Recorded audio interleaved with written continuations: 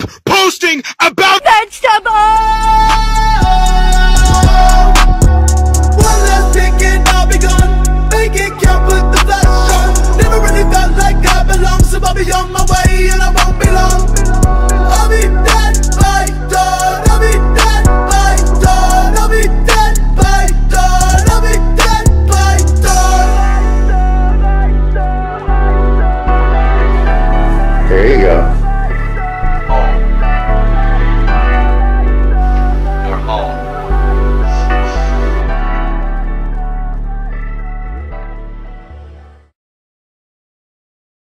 Baby, that looks like a dildo.